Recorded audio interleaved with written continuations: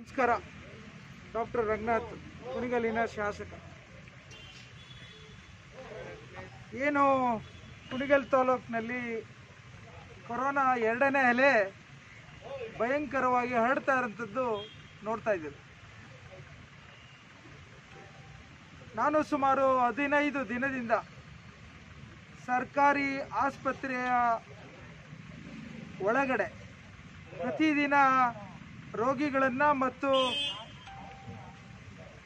ಬರೋಂಥ out patient ಪೇಷಂಟ್ಸ್ಗಳನ್ನು ಸಹ ದಿನನಿತ್ಯ ಅವರ ಚಿಕಿತ್ಸಾ ವ್ಯವಸ್ಥೆನ ಸರಿಪಡಿಸಲಿಕ್ಕೆ ಒಂದು ಪ್ರಯತ್ನವನ್ನು ಮಾಡಿ ವೈದ್ಯನಾಗಿ ಸಹ ಬೆಂಗಳೂರಿನ ಸೂಪರ್ ಸ್ಪೆಷಾಲಿಟಿ ಪಲ್ಮಾಲಜಿಸ್ಟಿಂದ ಹಿಡಿದು ಎಲ್ಲರ ಸಹಾಯವನ್ನು ಪಡೆದು ಉನ್ನತ ಮಟ್ಟದ ಚಿಕಿತ್ಸೆಯನ್ನು ಕೊಡಲಿಕ್ಕೆ ಪ್ರಯತ್ನವನ್ನು ಮಾಡ್ತಾ ಇದ್ದಂಥ ಹಿನ್ನೆಲೆಯಲ್ಲಿ ಸುಮಾರು ಒಂದು ವಾರದಲ್ಲಿ ಸಾಕಷ್ಟು ಸಾವುಗಳನ್ನು ನೋಡಿರೋಂಥದ್ದು ನನಗೆ ಸಂಕಟವಾಗಿದೆ.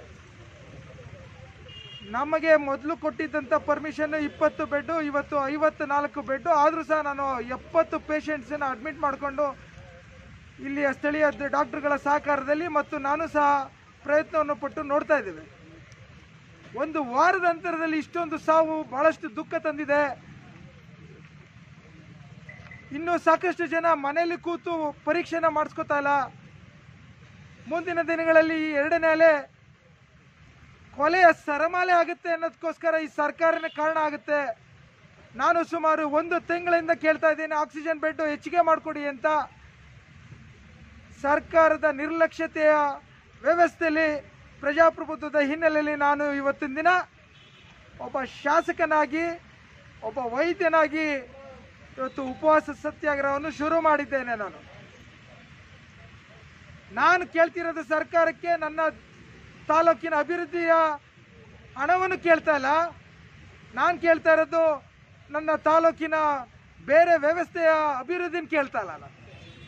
ನಾನು ಕೇಳ್ತಾ ಇರೋದು ಒಬ್ಬ ರೈತನ ಕುಟುಂಬದ ಪ್ರಜನ ಉಳಿಸ್ಲಿಕ್ಕೆ ಆಕ್ಸಿಜನ್ ಬೆಡ್ ಮಾತ್ರ ಕೇಳ್ತಾ ಇದ್ದೇನೆ. ಕೈ ಮುಗಿದು ಸರ್ಕಾರಕ್ಕೆ ಕೇಳ್ತಾ ಇದ್ದೇನೆ, ನನಗೆ ಆಕ್ಸಿಜನ್ ಬೆಡ್ನ ಹೆಚ್ಚಿಗೆ ಮಾಡಿಕೊಡಿ. ನಮ್ಮಲ್ಲಿರೋಂಥ ರೈತರ ಬದುಕು ಇಪ್ಪತ್ತು ಸಾವಿರ ವಾರ್ಷಿಕವಾಗಿ ದುಡಿಯೋದು ಹೆಚ್ಚು. ತಾವೆಲ್ಲ ಖಾಸಗಿ ಆಸ್ಪತ್ರೆಗೆ ಹೋಗಿ ಅಂತೀರಿ, ಖಾಸಗಿ ಆಸ್ಪತ್ರೆಗಳಲ್ಲಿ ಮೂರು ಲಕ್ಷ, ನಾಲ್ಕು ಲಕ್ಷ ರೂಪಾಯಿ ಖರ್ಚು ಮಾಡಿ ಬಲಿಷ್ಠರಂತೆ ಬದುಕು ಮಾಡೋಂಥ ರೈತರುಗಳು ನಮ್ಮ ತಾಲೂಕಲ್ಲಿ, ಗ್ರಾಮೀಣ ಪ್ರದೇಶದಲ್ಲಿ ಇಲ್ಲದಂಥ ವಿಪರ್ಯಾಸ. ಇವತ್ತು ಅವನು ತನ್ನ ಮನೆ ಆಸ್ತಿಗಳನ್ನು ಮಾರಿದ್ರು ಸಹ ಹೆಣಗಳು ಬೀಳ್ತಿರಂತದನ್ನ ತಾವೆಲ್ಲ ನೋಡ್ತಾ ಇದ್ದೀರಿ.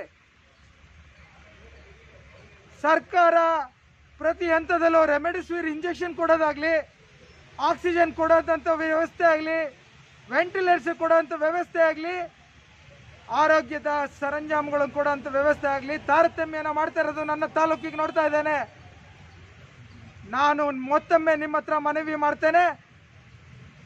ನಿಮ್ಮ ಹತ್ರ ಕೇಳ್ತಾ ಇರೋಂಥದ್ದು ಆಮ್ಲಜನಕದ ಒಂದು ಬೆಡ್ಡನ್ನು ಮಾತ್ರ ಕೇಳ್ತಾ ಇದ್ದೇನೆ. ಅದು ಒಂದು ಕಾರಣಕ್ಕೋಸ್ಕರ ಇವತ್ತಿನ ದಿನ ಉಪವಾಸ ಸತ್ಯಾಗ್ರಹ ಮಾಡ್ತಾ ಇದ್ದೇನೆ. ನಾನು ಮತ್ತೊಂದು ಬೇಡಿಕೆ ಏನು ಇಡ್ತಾ ಇಲ್ಲ. ದಯವಿಟ್ಟು ಇನ್ನ ಇಪ್ಪತ್ತೈದು ಆಕ್ಸಿಜನ್ ಬೆಡ್ ಮಾಡಿಕೊಟ್ರೆ ಎಲ್ಲೋ ಒಂದು ಕಡೆ ಬದುಕು. ನಮ್ಮ ರೈತರ ಜೀವ ಉಳಿಯುತ್ತೆ ಒಂದು ಪ್ರಯತ್ನದಲ್ಲಿ ನಾನು ಇವತ್ತಿನ ದಿನ ನಿಮ್ಮ ಹತ್ರ ಕೇಳ್ತಾ ಇರೋದು. ಕೈ ಮುಗಿದ್ಕೊಂಡು ಕೇಳ್ತಾ ಇದ್ದೀನಿ. ನನಗೆ ಏನು ಬೇಡ, ನನಗೆ ಆಕ್ಸಿಜನ್ ಬೆಡ್ ಮಾತ್ರ ಕೊಡಿ, ಆಕ್ಸಿಜನ್ ಬೆಡ್ ಮಾತ್ರ ಕೊಡಿ, ಆಕ್ಸಿಜನ್ ಬೆಡ್ ಮಾತ್ರ ಕೊಡಿ ಅಂತ ಕೇಳ್ಕೊತಾ